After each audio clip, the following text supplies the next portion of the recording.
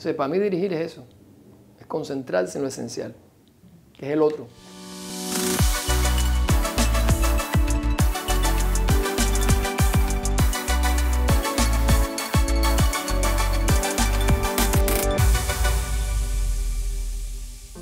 No sé dirigir si no es en caliente. Con la emoción viva ahí de la situación, ahí empiezan a pasar cosas. Y ese es el acto y el momento maravilloso de la dirección y, del actor, donde ocurre para mí el teatro. En esa comunicación, donde nos metemos en un canal de penetración de la realidad. Y empezamos a develarla, empiezan a aparecer movimientos, acciones, reacciones, imágenes, que en frío no, no, no surgen. En frío hacen un diseño general uno se le crea un vicio de, buscar esos momentos de intensidad, de creatividad.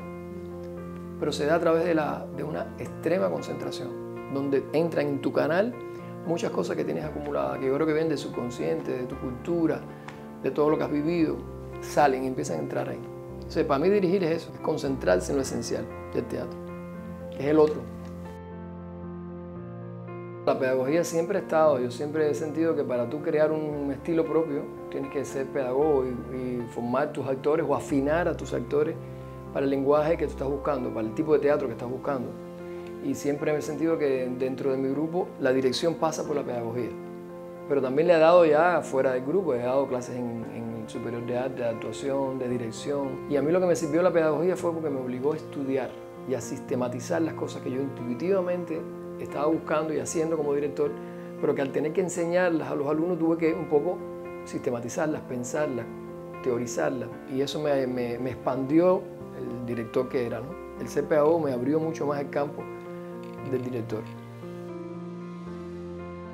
Manolo, Manolo es todo. Manolo es mi familia, es mi amigo y es también el teatro, es algo Teatro. Porque la gente dice Arcos Teatro es Carlos Cetrán y es Manolo y Carlos Cetrán, porque él es todo lo, práctico es Manolo y no solamente lo práctico, también lo creativo, porque sus diseños de luces son bien importantes para mí y su opinión cuando el espectáculo ya está desarrollado, ya que llega Manolo para ver las luces, sus opiniones sobre el espectáculo son fundamentales, porque si alguien conoce mi teatro y conoce de teatro es Manolo, aunque no sea, aunque él no, no se precie de eso, tiene un gran ojo para observar el teatro.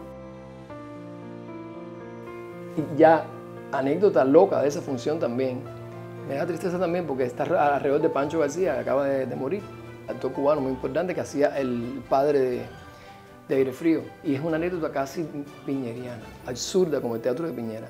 Pancho, justo antes del ensayo, se le rompieron los dientes de la prótesis y se quedó sin dientes.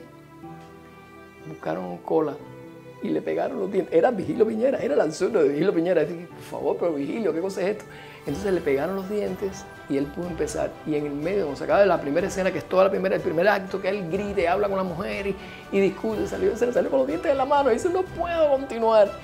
Y yo decía, Pancho, por favor, hasta que pare, pare, pare. Pancho, actúa sin dientes. Si además ese viejo está hecho leña, ¿qué más te da? ¿Cuál es el problema? Dice Pancho, es verdad, tiró los dientes, salió.